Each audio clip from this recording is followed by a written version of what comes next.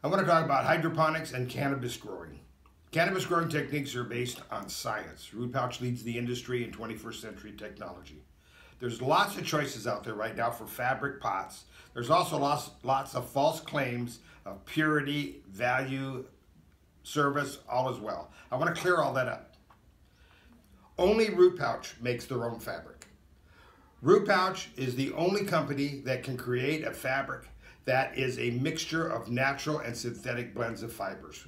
We use only recycled water bottles, which is clean, remelted, pure PET. Our fabric is 100% BPA free. Our fabric is also free of all plasticizers, dioxins, and lead. There is absolutely no safer or cleaner or purer fabric to grow a plant in for human consumption than a root pouch, period. We also have the technology that we have different densities and different different types of pots. We have a line we've just produced that's over here. We call it our charcoal line, strictly for the cannabis industry. It's used in, in most of the large industrial sized cannabis operations in the Northwest right now or in North America.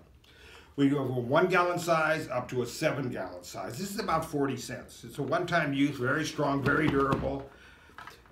This is a five gallon and you're right at about a dollar. I mean, the value is there. If you want anything larger and you need something that is for your mother plants, for instance, or for outdoor extended use, there's nothing better or stronger than our boxer line. And again, all of our lines are made by us.